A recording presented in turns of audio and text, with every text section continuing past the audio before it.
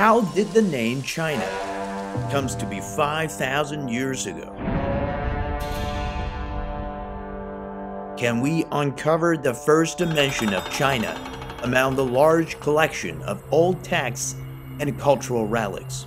Chinese President Xi Jinping once said the word China was first seen on the bronze Hezun that was unearthed in Shaanxi province. 中呢，最早的含义指的是部落首领在召集人开会的时候，插在部落中央的杆子，它也是标志着部族的人中心位置。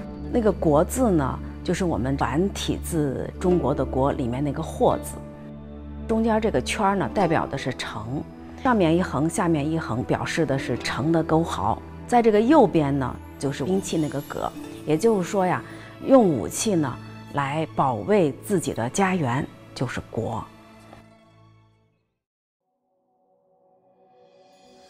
一个民族、一个国家，必须知道自己是谁，是从哪里来的，要到哪里去。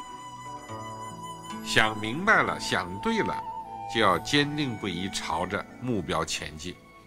百分之九十九以上的历史是没有文字书写的，那么那么长时间的历史。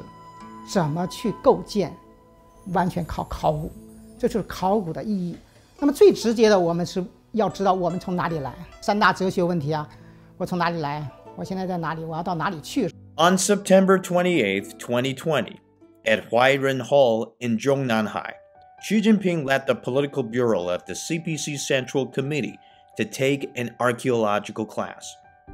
He believes that archaeological discoveries show the historical context of the origin and development of Chinese civilization.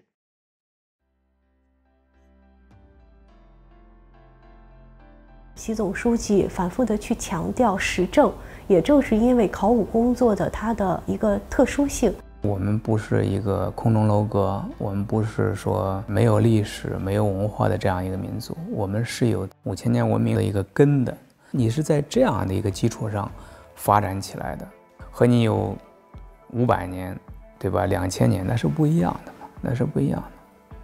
所以这是我们的世界观的一个基础，我们面向未来的一个基础，也是我们在现在这个世界上立足的一个基础。所以，对一个国家领导人来说，重视考古的一个最重要的原因吧。嗯，考古可以提供给我们文化自信的一个资源。During the archaeological class in Zhongnanhai, Xi Jinping proposed to make cultural relics alive so that more Chinese people can draw spiritual nourishment from archaeological discoveries and historical research.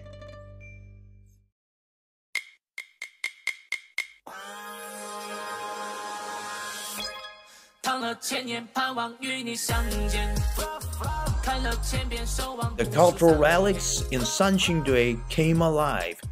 Some fans restored the newly unearthed incomplete golden mask, and a vlogger copied the golden rod by himself.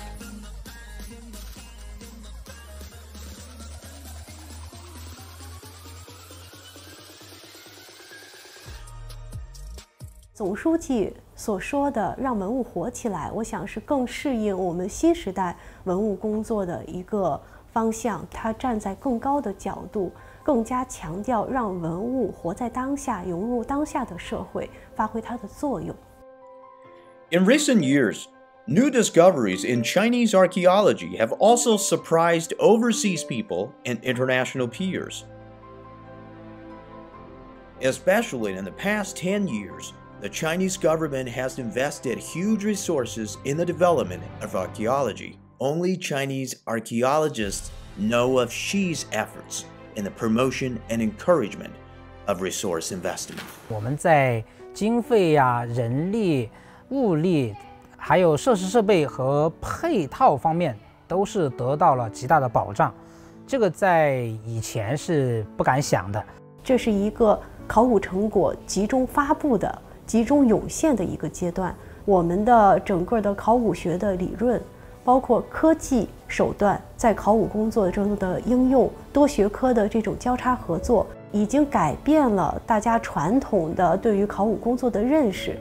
on May 27, 2022, Zhongnanhai took another archaeological class.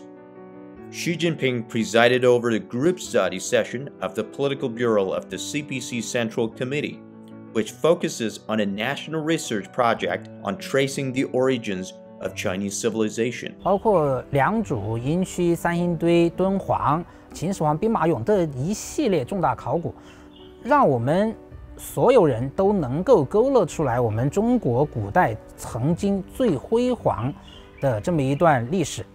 如果没有五千年文明，哪里有什么中国特色呢？